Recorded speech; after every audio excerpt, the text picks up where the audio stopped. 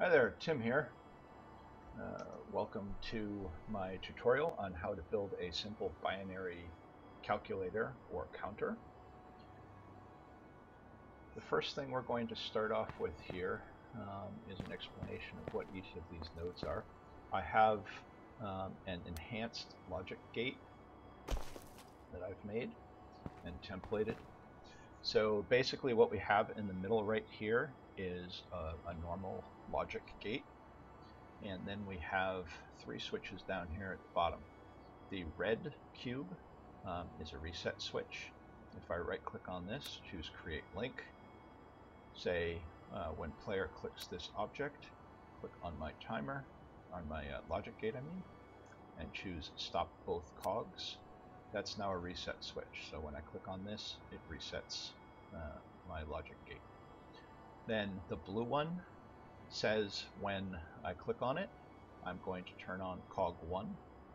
The orange one says when I click on it, I'm going to turn on cog 2. Then in the logic gate, I'm going to right click and I'm going to say when cog 1 turns on, light the blue cube. When logic uh, cog 1 turns off, turn off the blue cube. When cog 2 turns on, turn on the orange cube. When cog 2 turns off, turn off the orange cube. Now, the ones at the top are AND and OR identifiers. So for here, we're going to create a link. We're going to say when both cogs have started, click on the green cube and say turn on this glow. When we say create a link when either cog stops, turn off the green cube. All right, um, and then the OR gate is when either cog 1 or cog 2 is started, turn on this light, and when both are off, turn off this light. So now what we have uh, is if I turn, if I click on this, you'll see it turns on the blue light, and uh, turns on the OR indicator. When I click on this one, it turns on this light, turns on the AND and the OR indicators. And if I turn one off, you'll see the AND turns off, but the OR stays on. And when they're both off, again, the OR turns off.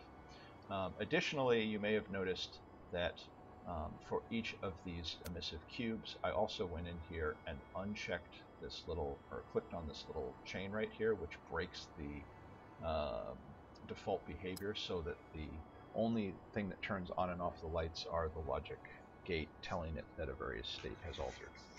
All right, so that is, and then I highlight this, template it, and now I have my enhanced logic gate. Now what I do is, or what I did is I went and I lined up 10 of these across the top of my board right here.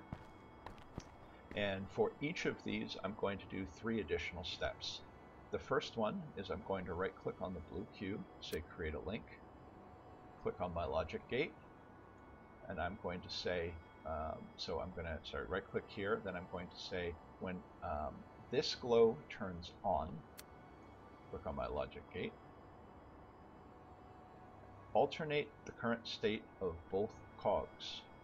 All right. Then I'm going to right click on my logic gate. I'm going to create a link. Say when both cogs have started, I'm going to click on the gate to the left, and I'm going to say start cog 1. And up here for my AND indicator, I'm going to do a create a link and say when this glow turns on, click on my logic gate, and choose stop both cogs. Alright, now I'm going to do those exact same three steps for each of the gates going across the line. When you get to the one at the end, just skip the turning on the gate to the left. All right. So now what happens is when I turn this on, the logic basic, or when I click on this cube, the logic is basically this. I clicked on this cube, which told it to turn on cog1. Cog1 turns on, which lights this light. When this light lights, it tells this to alternate cog1 and cog2 which turns this light back off again, which turns cog2 on, turns this light on, and sets my OR gate. Now, when I click on this again, the logic is turn on cog1. Cog1 and cog2 are now both on. When cog1 and cog2 are both on, light cog1 over here. When this light, because they're both on, it lights this light. When this light lights, it tells it to turn off cog1 and cog2, which turns off both of these lights. And when this gate told this one to turn on cog1, it told it turned on cog1, which turned on this light. When this light turned on, it told it to turn to toggle cog1 and cog2, which turned on cog2, which turned on this light and set the OR gate.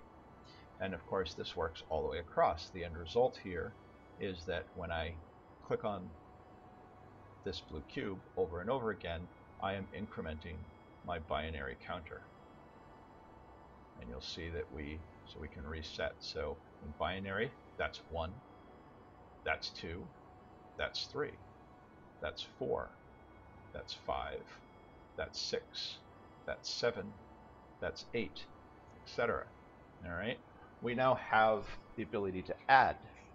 All right. If we have um, in binary, we have 6, and we add 1, we have 7. We add 1, we have 8. All right. Um, if we have 8 plus 4 is 12. All right, so this is binary 12. And we add 4 to 12, we get 16. All right, so we now have the ability to add um, and count. And if we want to subtract, um, it, it, helps to know that the best way to subtract um, in binary um, is to basically insert a row of ones across the entire line right here. All right. Um, the reason for that's more complicated than for this tutorial. So, but the basic gist is if I want to subtract one, then I simply um, click on each of the blue lines in sequence, or, or blue cubes in sequence. I can, of course, make a little uh, chain of activity that would do this for me. And you'll see that I went from 16 down to 15. Um, again, if I did it again, across the line, this,